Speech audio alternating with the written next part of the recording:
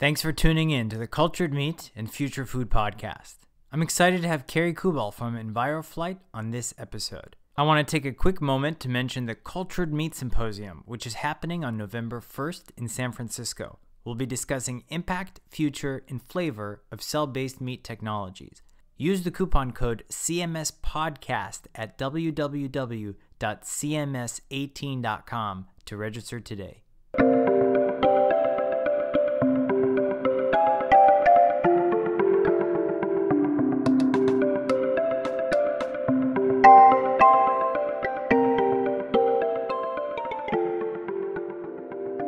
Carrie Kuball is the VP of Sales and Marketing at EnviroFlight, the first US based company to commercially and sustainably raise black soldier fly larvae as a protein source for animal feed. Prior to joining EnviroFlight, Carrie spent more than a decade consulting with zoos and aquariums to better their nutrition programs for the world's most endangered animals. She believes that sound nutrition for both animals and people is essential for improving quality and value of life worldwide.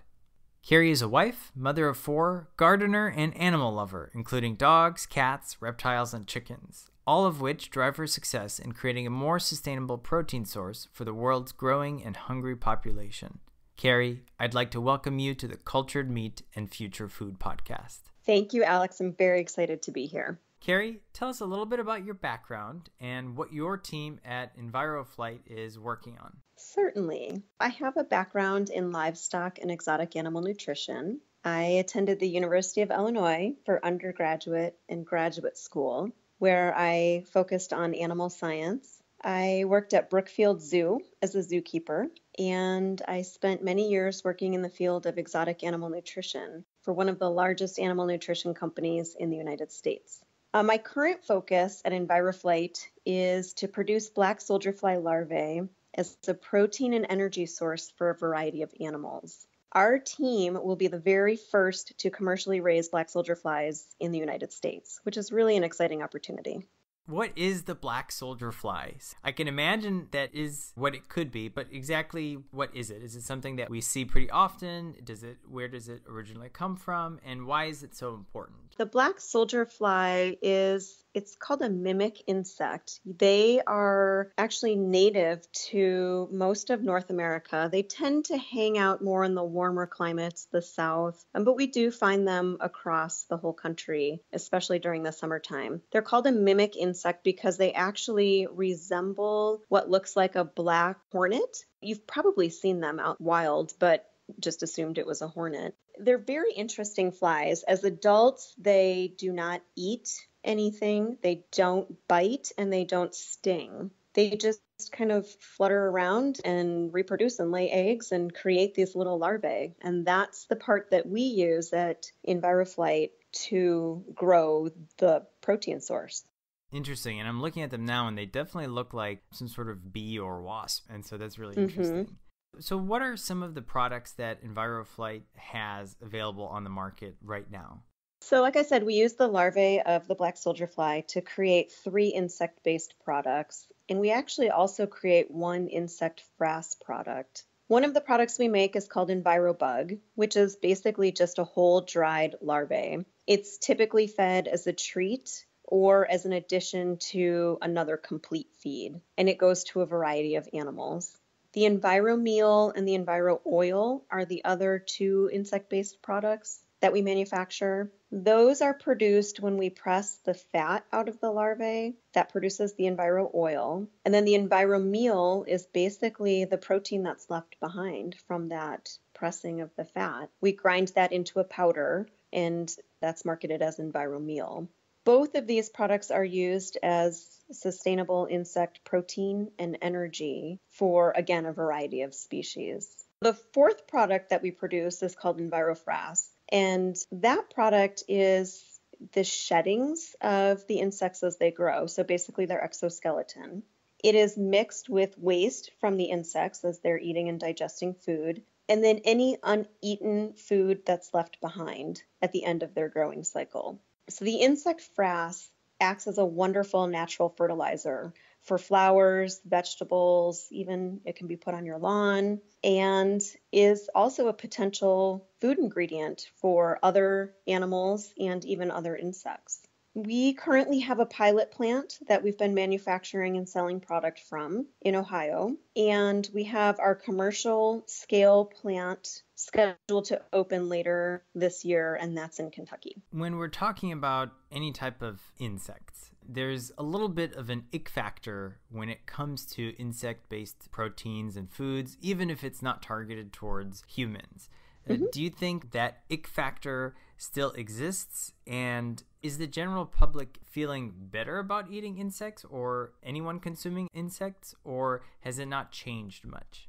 Well, I'm smiling right now, Alex, because I certainly believe that there is an ick factor out there for some people. I mean, let's face it, we're talking about bugs, right? We're adding larvae to foods. Yeah, the ick factor is definitely there. I think we have a long way to go, really, especially in a developed country such as the United States, where we traditionally don't include a lot of insects in our human diets. But the really cool part is that almost every animal out there consumes insects on a fairly regular basis. If you can think about that and look at some of the animals that we're feeding, it kind of takes a little bit of that ick factor away. So, for example, think about the backyard chicken. They literally spend their day seeking out every little bug they can find in the yard or in their chicken coop or wherever they are. Or even a dog out in the grass they're looking for bugs and they like to chase the bugs down, and eventually they usually end up eating them. Or a house cat that chases a bug around the house. It's just in their nature to eat insects. Even grazing animals, when they're out on pasture, will consume insects as they're eating and grazing on the grasses that are out there. And there's a lot of human cultures that regularly consume insects as part of their diet as well. We're really just providing a very nutritious food item that actually supports natural feeding behaviors. We usually put a, a call out for questions from our listeners for any of the upcoming guests that we have. And I don't mm-hmm. think we've ever gotten so many questions submitted and I thought that was really interesting. Maybe it's because of the pet angle, maybe it's because of the insect angle. I'm not sure, but we have a couple questions from listeners, and one is from Sandy from San Francisco asks that for pets you recommend Enviro Oil and Enviro Meal. Could you tell us a little bit about the benefits of adding this to a pet's diet and exactly how can it be incorporated into a pet's diet? Sure. Sandy, thank you for the question. Uh, typically, the Enviro meal and the Enviro oil will be purchased by a pet food manufacturer and added directly into their formulation. As a consumer and pet owner, we would then look for the insect meal to be included in the pet food that we're buying. These ingredients are actually still very new to the marketplace and, in fact, are still undergoing the FDA approval process. But I've already seen a lot of interest from pet food manufacturers, and I'm actually starting to see products come to the market with insect ingredients included. This is a really exciting time to be a part of this industry. Some of the benefits to feeding a product containing EnviroMeal would be the fact that it's hypoallergenic. If you have a pet with food allergies, this may be a good option for them to try because it would be a new protein that they would be introduced to. So something they haven't already developed allergies to. The other thing is that it's for me very exciting knowing that I'm feeding a sustainable source of protein to my pets. And we can talk a little bit about that as well. But let me jump into the Enviro oil. The Enviro oil as an energy source provides a high level of lauric acid. Lauric acid is typically found in ingredients such as coconut oil and palm kernel oil. It's not really found in a whole lot of other places or other ingredients. Lauric acid is a medium chain triglyceride, or MCT for short. This is an oil that is easily digested by the body, and it's thought to have several benefits, including antibacterial properties, which again is also very exciting. Lauric acid is believed to cross the blood brain barrier and allow for a direct source of brain fuel for our pets. There's a lot of anecdotal evidence that MCTs improve mental health in both people and animals alike. You mentioned FDA approvals. Is the FDA a body that also regulates pet foods? Yes, the FDA does regulate ingredients that can go into pet foods, and ingredients cannot be used unless they're approved This is for the United States pet food manufacturing. We're going through the process of submitting research trials to prove that the ingredients are safe and beneficial to the animals that we think they should be included in in those diets. We spend a lot of time and a lot of money doing these research trials with universities, other companies that third party to run the research trials just to prove that not only is the ingredient palatable to the animal, but it also provides benefit and is safe. Back to kind of what we were talking about with pets, there's a lot of pet owners that are giving their pets human grade food. Do would you consider that the products that EnviroFlight is creating could potentially be human grade? And I know you guys are not going in that direction, but it could be potentially safe for human consumption as well, right? True. There's actually a lot of areas outside of the US that use black soldier fly larvae in human food as well. And I definitely agree that many people do want human grade food for their dogs and cats. For example, we just talked about the Enviro oil benefits as an MCT and the brain fuel that it can provide. The research is taking place actually both in humans and animals to really fully understand the benefit of this ingredient to those diets. The EnviroFlight products are grown and dried in a top of the line pet food facility we're meeting the standards. The, uh, there's some newer government requirements that are out there over the recent years with pet food manufacturing. And so our new facility is really top of the line when it comes to meeting those requirements, which is very similar actually to a human grade manufacturing facility from a safety food safety standpoint back to what we were talking about regarding the black soldier fly, we have one of our listeners from Texas, Luke, asks, What are the advantages to using black soldier flies versus other insects? In this space, I feel like we hear a lot about cricket. Definitely. Luke, this is a great question. And I actually have a couple of answers for this one. I think that, first of all, the growth rate of black soldier fly is very fast compared to any other insects. These little things are just designed to eat and grow, eat and grow. From that standpoint, we're able to produce a lot faster than other insects. The other advantage is the high lauric acid content that we already talked about, and they actually have high calcium too, compared to most other insects. The other thing, I see a variety of dried mealworms and other insects on retail shelves all over the country, actually.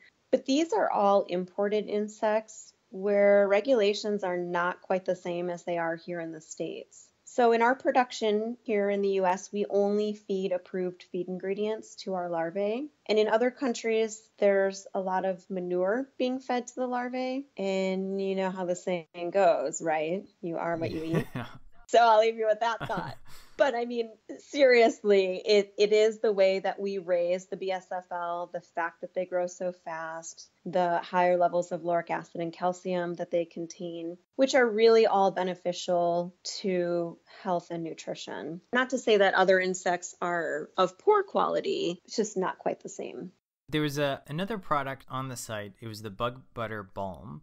Mm-hmm. Is this also used in a B2B scenario? Yes, actually it is. The bug butter balm is a purified source of lipid that's derived from the Enviro oil, and it's really marketed towards the cosmetic industry. It is very rich in lauric acid, like we talked about with the Enviro oil, which makes it ideal for treating skin conditions and then also for making soap and shampoos. Wow, I didn't even think about the cosmetic industry, are there a lot of insect based right. products in the cosmetic industry? Not yet. But again, being that we're the first US facility to commercially raise the black soldier fly, I think you will, over the years, start to see more and more of those products with insect ingredients. Interesting. Yeah. And I think that from ick factor we were talking about before, putting it into cosmetics is a lot less icky than eating it, for example. Eating it. Exactly. Right. Yeah. And by the time you really refine the the bug butter balm for that matter, you would never even know it's from an insect. I mean visually or, you know, anything else. Even the Enviro oil, it doesn't have an insect smell or anything really that gross looking or smelling about it. It actually has a roasted nut smell. The dried larvae are the same way. The first thing I hear from a lot of customers that have tried the product or pet food manufacturers that we've provided samples to, one of the very first things they say is, This stuff smells good. It smells like I'm in a roasted nut factory. So that's kind of interesting and also helps with that ick factor as well. Wow, I wonder if we'll ever replace olive oils for cooking with insect based oils. Might be years away from that. Yeah. Maybe someday, though. Maybe someday. What can we expect to see from EnviroFlight in the near future? In the near future, we, well, we're opening our commercial plant by the end of this year. And as we work through FDA approval to have product included in pet foods, we will be starting to get that product into the hands of pet food manufacturers, as well as agriculture, livestock feed manufacturers, backyard poultry diets as well. Um, it's a really exciting time, just kind of on that, that we've taken that first step and now we're ready to just open up into the marketplace and the industry for animal feed. One thought that just came up is today, what is currently in the animal feed and what are they currently eating today? Yeah, so there's a lot of mm. conventional, I would say, animal derived proteins or plant derived proteins that are being used in animal feed, whether it's coming from swine sources, poultry sources, or legumes or soy for that matter. Those are all being used in animal feed right now. Fish meal is another source. The EnviroFlight insect protein is a little bit different. It's more sustainably produced on a very small footprint of land compared to those other sources that we just talked about. One of the advantages that we have with insect rearing is that we can vertically farm, which really all that means is that we're stacking trays of growing larvae under one roof. But when you think of like crops growing on a field, it's all two dimensional, right? The crops are just growing flat on that acre of land. Or animals grazing, they're on, or even in a barn, they're on that flat two dimensional acre of land.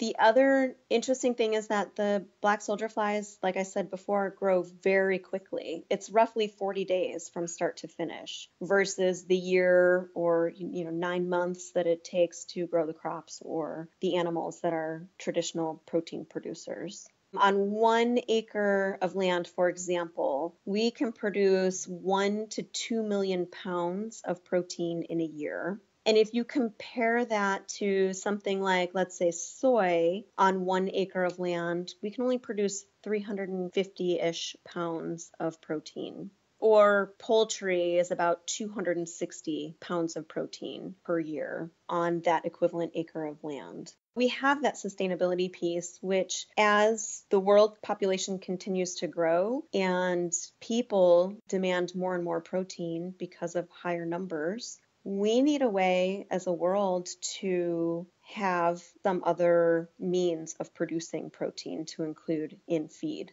Wow, yeah, and those numbers are pretty impressive in terms of the black soldier fly. Yeah, it's I mean it's an astonishing difference when you talk about 1 to 2 million pounds of protein per acre versus the next leading source at roughly 300 pound, 350 pounds per acre. Right. And would you say that insect farming is usually vertical or is that something that you guys are pioneering? That's a great question. I've seen both methods. Vertical is not uncommon, but I've also seen methods where they're just maybe big like concrete vats or like sections where the larvae are growing in big boxes. And those are, that's typically outside of the US that I see that type of production. You can get in touch with Carrie on LinkedIn and check out EnviroFlight at enviroflight.net. Carrie, do you have any last insights for our listeners today? Yeah, I would say if you share the ick factor, please just keep an open mind about how these tiny little larvae can help feed the world. With a growing population eating more protein than ever before, we really need a way to sustainably feed the world. EnviroFlight is really excited to be a part of this solution for this pressing global need. I would be more than happy to answer any additional questions that our listeners may have. And like Alex said, please reach out to me either on LinkedIn or through the EnviroFlight website at enviroflight.net. Thanks for listening. Carrie, thank you so much for being with us today and sharing your story on the Cultured Meat and Future Food podcast. Thank you for having me, Alex. This is your host, Alex, and we look forward to being with you on our next episode.